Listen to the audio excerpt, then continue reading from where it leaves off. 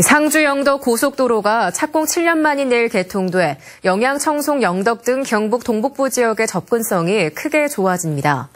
내일 개통되는 상주 영덕 고속도로는 총 연장 107.6km로 2조 7,500억 원의 막대한 공사비가 들었고 3시간 걸리던 상주 영덕 간 차량 운행 시간이 1시간으로 단축됩니다.